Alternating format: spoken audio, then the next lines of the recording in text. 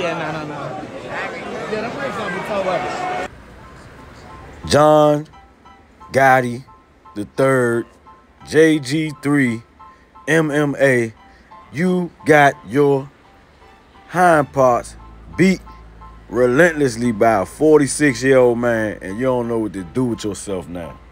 You've been crying, you all in your vag, and we don't we don't had to listen to you cry the whole time, man, just because the man beat you up and played with you and embarrassed you, and now you don't know what to do with your little self.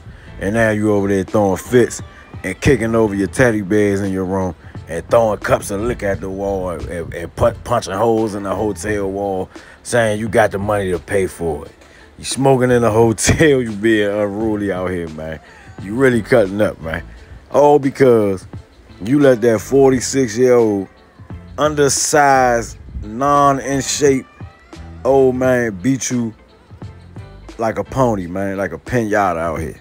Word on the street, you done fired your driver, man.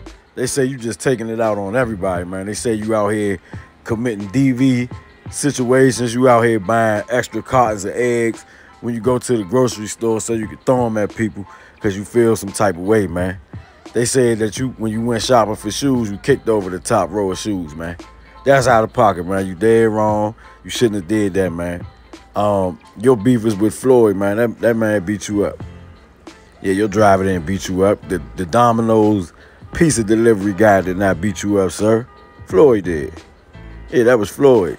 And you had every chance to try to beat him back up in the ring, but you got gunshot because you kept missing and he kept popping you all in your mouth. You get what I'm saying? So now your little, you know, your little jaw hurt, your little head hurt, and you out here thinking you your grandfather and don't nobody in the world look at you like you your grandfather at all. Don't nobody even look at you like you your father. You ain't John Gotti, you John Gotti the third, beloved. It's a big old difference. And ain't nobody tripping off you. You talking about, oh, you an enemy for life, bro. Don't nobody care about being your enemy, bro. Nobody, bro. You know what I'm saying? You got Conor McGregor backing you up. Man, boy drunk, man. It's already, it's already understood. Boy drunk. That's all that's going on. Boy is drunk, man. yeah, that's all that is, man. Yeah, he he off the um proper 14 whiskey uh on the rocks. And he done came to defend uh uh his fellow um whatever the fuck. Y'all look more alike than you and Floyd, so I guess you know whatever, whatever. Y'all picking sides and all that. Both of y'all drunk. Um, you soft and he slow. You know what I'm saying? Both of y'all do MMA. You soft, he slow. The soft slow crew. You know what I'm saying? Of all the proper 14 whiskey drinks, uh, hitting bars, uh, y'all on a bar tour across the whole United States of America, man. Then y'all gonna take it over to Dublin, Ireland, man, and get drunk some more and beat up some more cab drivers, man, because y'all married that Floyd beat both of y'all up. the old man beat both of y'all up, man, and made fun of y'all and now y'all all in y'all little vags, man. All y'all little y'all little uh, booty shorts is digging in y'all little uh, upper legs and all that.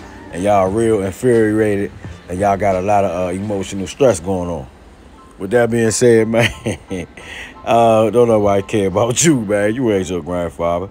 And your grandfather got played with in prison, man. He wasn't in there laying down no law. And that ain't hard to figure out. He was in the prison with everybody else. He wasn't on PC. You dig? You would have went on PC because you would have gotten your little vag. You dig? And you can't take your ass whooping like a man. Stop crying. JG3, MMA, you and the little drunk boy, y'all get together, y'all come up with a new liquor. Call that, call it punch drunk. You get what I'm saying? Y'all get money out here. Gone. Love.